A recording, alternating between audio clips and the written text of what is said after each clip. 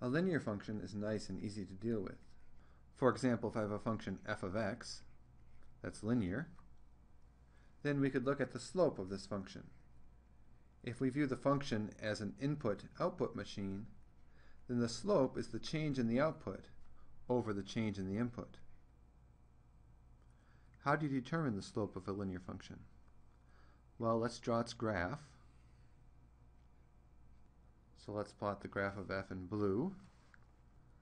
Let's say we start at some input, we'll call it x naught. Then its output is f of x naught. Then let's change its input by amount, let's call it delta x, so that the new input is now x naught plus delta x. Well, then the output changes to f of x naught plus delta x. How much did the input change? Well, it just changed by delta x. How much did the output change? Well, that's just equal to the new output, f of x naught plus delta x, minus the old output, f of x naught. So f of x naught plus delta x minus f of x naught. And we can call that change delta f. Therefore, we could write the slope, which we often denote by the letter m, as equal to delta f over delta x, or f of x naught plus delta x minus f of x naught, that's the change in the output, divided by the change in the input delta x. Or maybe the notation would be easier if we labeled the new point as x1, and then the output at the new point would just be f of x1. So x1 is just another way to write x naught plus delta x.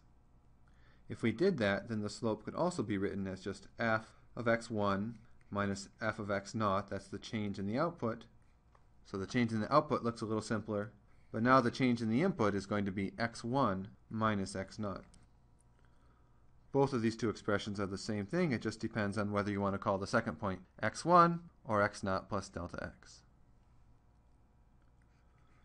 For a linear function, the slope does not depend on the choice of the point x naught nor the width of the interval delta x. That's an important property of a linear function. Its slope is the same everywhere. The slope is equal to the rate of change of the linear function, and the rate of change of a linear function is always the same. Linear functions are nice and easy to deal with, but most of the time we'll be dealing with nonlinear functions. One part of calculus is approximating nonlinear functions by linear functions. How do we go about approximating nonlinear functions by linear functions? Let's imagine I have a nonlinear function. We'll call f of x again. So if I want to approximate the function f by a linear function, I could pick two points. Let's call one x naught and one x1. And I could draw a line from the point on the graph of f above the point x naught to the point on the graph above the point x1 it would look something like this. This line is an approximation to the function f, and it's called a secant line. The secant line is a line that goes through two points on the graph of the function. The slope of the secant line gives the average rate of change of f. What is the slope of the secant line? Well, it's the same expression we had before for the linear function f it was the change in output, delta f, which is the change between the heights of these two points, divided by the change in input, delta x, which is the distance between these two input points. In other words, it is f of x1 minus f of x0, that's the change in the output, divided by the change in the input, x1 minus x0. For a linear function f, the slope didn't depend on the choice of the points, x 0 and x1. Does it matter now for our nonlinear function f? The slope of the secant line will depend on the choice of both the points. If I chose a different point for x 0 and x1, I get a different secant line whose slope could be much different. So unlike for a linear function, this slope depends on the choice of the points. We can also write this formula in terms of x naught and delta x rather than in terms of x1. And this formula is exactly like the other formula we had for the linear function. The change in the input is f of x naught plus delta x, that's the top point, minus f of x naught, divided by the change in the input, which is simply delta x. Now these secant lines are nice linear approximations of the function f, but for many applications, we want to know what the slope of the function looks like as we zoom in. If we zoom closely in here, we can see that the secant line in red is not the best approximation of the function f, which is graphed by the blue curve. How can we get the best approximation right near x naught? Well, we can't just set delta x to 0. If we did that, we would get that delta f over delta x is 0 over 0. And this is undefined. So that's not the way we can get the best linear approximation for the function f around the point x naught. But it's the right idea. We can make delta x smaller and smaller.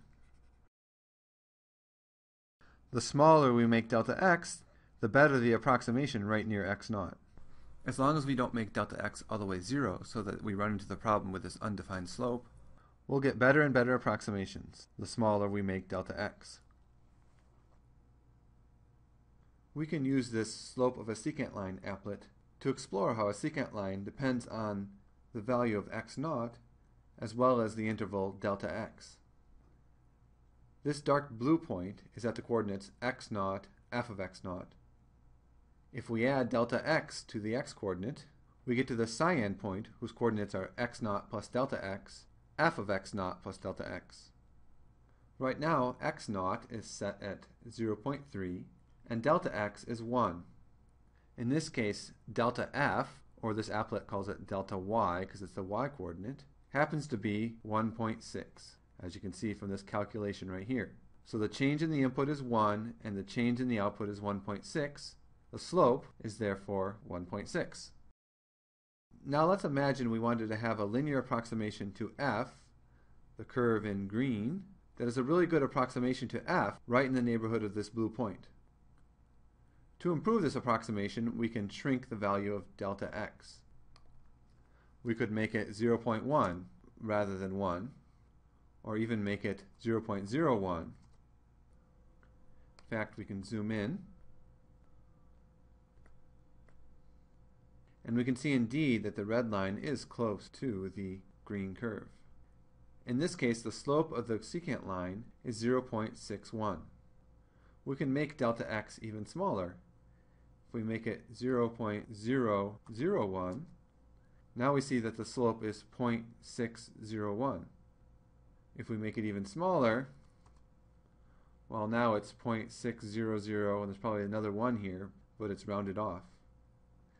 So it looks like this slope is getting very close to the value 0.6 as we make delta x smaller and smaller. But of course we can't exactly make delta x 0 if we do that, we get 0 over 0. As we said before, that's undefined. Instead, what we can do is put in a really, really small number in for delta x to see that we're very close to 0.6. For the function we saw in the applet, the slope of the secant, given by this formula, seemed to approach a given number as we made this distance delta x get smaller and smaller. In fact, it looked like the secant lines were approaching a particular line as delta x got closer and closer to zero. This particular line is called the tangent line, and the value that the slope, delta f over delta x, is approaching as delta x gets closer and closer to zero is called the limit of delta f over delta x as delta x approaches zero. We write this as limit delta x going to 0 of delta f over delta x, which by this formula is the limit as delta x goes to 0 of f of x naught plus delta x minus f of x naught over delta x. Here we're not defining a limit precisely, but it's just the value that this quantity gets closer and closer to as delta x gets closer and closer to 0. Of course, we can't let delta x get exactly to 0 because then we would have 0 over 0. But we can let it get really, really close. You can think of the idea of asking a two-year-old not to touch a lamp. What will the two-year-old do? It will look at you and try to get as close as he can to touching that lamp without actually touching it. He'll see how close he can get without getting into trouble. That's the idea here. We get into trouble if we let delta x be exactly 0, but we'll get as close as we possibly can. Remember that the slope of the secant line was the average rate of change of f. On the other hand, the slope of the tangent line we can refer to as the instantaneous rate of change. And we'll denote it not by delta f over delta x, but instead by df over dx. And by this, we just mean the limit, which we rewrite over here. So again, the line with the slope is called the tangent line, and the slope itself is called the derivative of f at the point where x is equal to x naught. To emphasize that the slope is calculated at a particular point, we often write it as df dx evaluated at x equals x naught.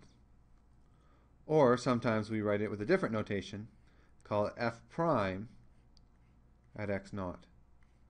Either of these ways denote the derivative. The derivative is the slope of the tangent line, and we often say it is the slope of the function itself at x equals x naught.